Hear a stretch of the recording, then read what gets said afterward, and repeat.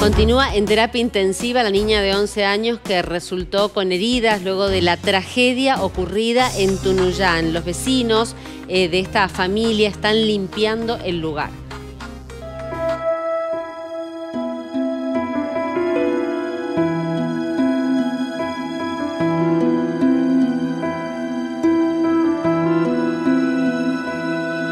El conmocionante hecho que mantiene en vilo a la provincia de Mendoza, por el que tres hermanitos de 7, 9 y 13 años murieron en un incendio en Tunuyán, ahora centra su situación en el estado de salud de la menor, que logró escapar de las llamas.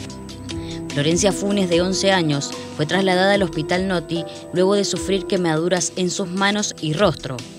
Según el parte médico de este viernes, la niña continúa en terapia intensiva, hemodinámicamente estable, con asistencia mecánica respiratoria. Su evolución es favorable. La familia está realmente devastada. Eh, prácticamente no, se puede decir más. Eh, estaba en mi domicilio, mi marido me despertó y vinimos y vimos todo lo que pasó. Eso es una palabra que no se puede explicar. Así quedó el lugar luego de que este jueves, cerca de las ocho y media de la mañana, en el asentamiento Virgen del Milagro de Tunuyán, dieran aviso a la policía que se estaban prendiendo fuego dos viviendas. A raíz de la tragedia, el intendente de Tunuyán decretó duelo departamental por 48 horas. Si bien el municipio se hizo cargo de los sepelios, también brindarán asistencia psicológica. Pese a esto, la familia de los menores solicitan ayuda para poder reconstruir su hogar. Los vecinos colaboran limpiando el lugar del hecho. Para poder realizar donaciones pueden comunicarse al 262 2405769 o al 262 2502 399.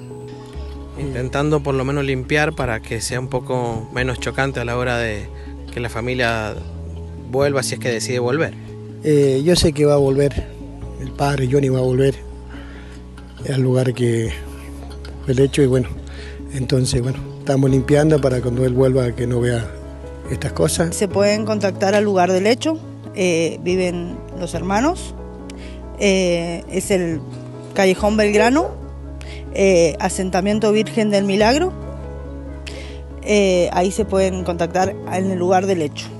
Son dos viviendas damnificadas, digamos también eh, a donde estuvieron las víctimas y la familia de al lado también necesitan de la entera ayuda de todas las personas que puedan más ayudar.